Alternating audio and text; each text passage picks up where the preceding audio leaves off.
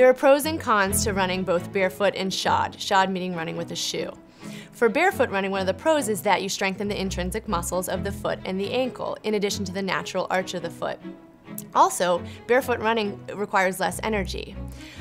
A con, though, would be that you're exposed to the uncertain terrain and can damage soft tissues to the foot itself. On the other hand, if you run shod or with shoe, you have the protection of the shoe from that terrain. One of the cons, however, of shod running is that there are larger impact forces when your heel strikes the ground that's distributed up into the knees, the hips, and the low back that can cause overuse injuries. Anybody can try barefoot running, but it's not for everyone. First and foremost, you need to take care of your previous injuries before making that transition. Also, if you're afraid to go completely barefoot, you can always try the minimalist or finger shoes. Also, we've noticed that the younger athletes tolerate the transition a little bit easier from, from shod to barefoot. They tend to heal a little bit faster and make those changes easier.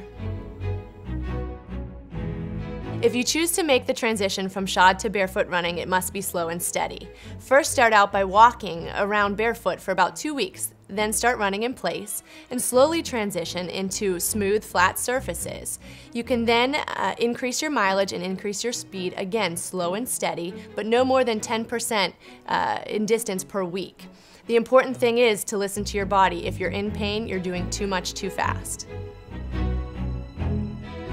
UPMC is committed to the running community.